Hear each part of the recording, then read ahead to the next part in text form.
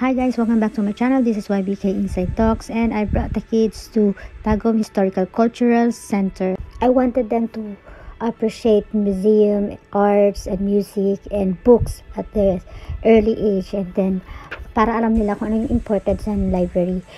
Although iba na kasi ngayon dahil high-tech na lahat and then we also have the digital library at home kasi pwede namang i-search natin on Google tap kasi may internet naman tayo. Pero it's a different vibe kasi when we are in the library it's makakausap pa yung librarian and other staff there. And on the second floor naman there is the Kagikan. Um, ito naman yung uh, cultural heritage ng Tagum kung saan galing talaga yung Tagum bakit Tagum yung pangalan ng ng city and then how culture bring people together. Makikita din nila yung paano ang pag-evolve ng economy ng Tagum City there and also yung yung political side naman, yung mga mayor, ano yung pinakaunang mayor, and then up to the present, there is um, a feature there. And then there's also the, of course, yung musikahan, kung bakit tinawag ang tagong ng capital city of the music.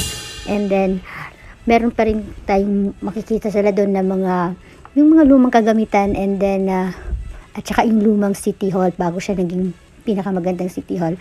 So, yun. That's all. And I hope guys uh, enjoyed my video. And thank you so much for watching. I'll see you guys on my next video. Bye!